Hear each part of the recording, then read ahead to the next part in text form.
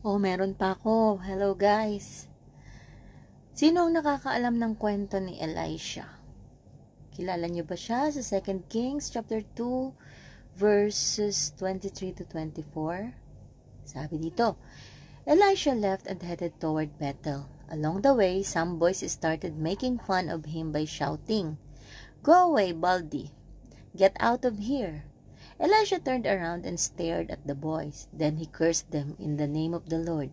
At once, two bears ran out of the words and ripped to pieces 42 of the boys. Ano nga ba ang ginawa ng mga kabataan na yon? They jeered the man of God, unaware of who he was. On the basis of his looks, Hoy kalbo, kalbo! Kakakita pa lang ni Elisha kay Elijah na dinagit ng mga apoy paakyat. Kabibigay pa lang sa kanya ni Elijah at ng Diyos ng double anointing. Kadadapa-dapa pa lang at kakayuyuko-yuko sa kanya ng mga kagalang-galang ng mga propeta at kagagaling pa lang niya sa pag-aararo. Hindi pa siya bihasa on the finer points of the prophetic ministry. He called down a curse on them. Then two bears came out of the woods and mauled all 42 youths, a very cruel act done in the name of God. Bakit ganon? Bata pa sila para maranasan yung ganon, ang ganti.